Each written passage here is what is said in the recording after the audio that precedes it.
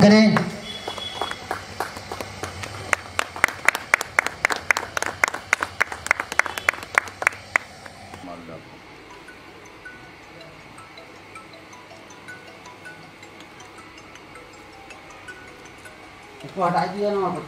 जी की लिखी हुई कविता आप सबके सामने प्रस्तुत कर रही हूँ। जय चित्रगुप्त, जय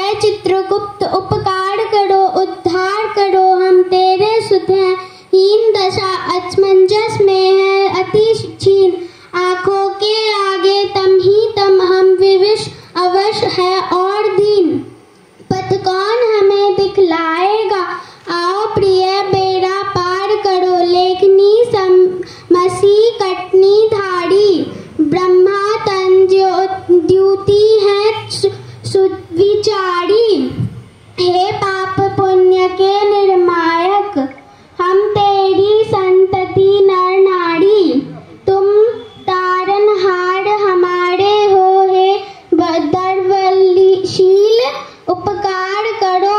जी सर आज राजेंद्र बाबू की जयंती पर समारोह हो रही है। क्या कहेंगे आप?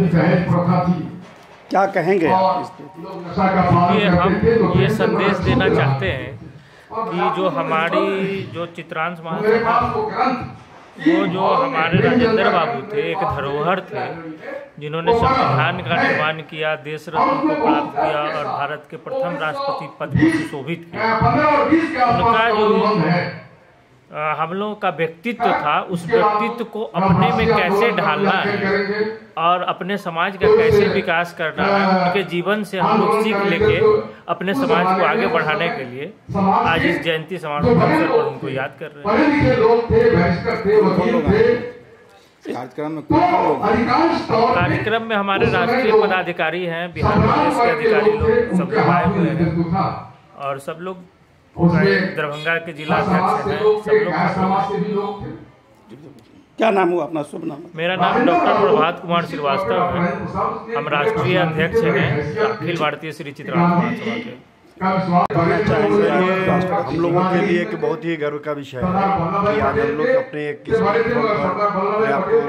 ला करके खड़ा किए हैं डॉक्टर राजेंद्र बाबू जो सही में फ्रांस के बहुत बड़े धरोहर थे भारत के प्रथम राष्ट्रपति जो एक चित्रांश बंधुओं के लिए एक बहुत ही गर्व का विषय है, जो संविधान के संचालक, संविधान के निर्माता थे।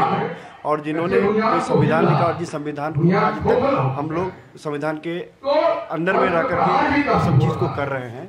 और मैं राजेश कुमार, राष्ट्रीय कार्यकारी अध्यक्ष, अपने आप में ये गौरवान्वित महसूस कर रहा हूँ और मैं शुभंकरपुर सबसे बड़ी खुशी की बात है कि मुझे ये पद से जो सुशोभित किया गया और ये शुभंकरपुर में ही ये पहला प्रोग्राम को ऑर्गेनाइज किया गया एक विस्तृत विस्तार रूप में और मैं शुभंकरपुर का ही रहने वाला हूँ।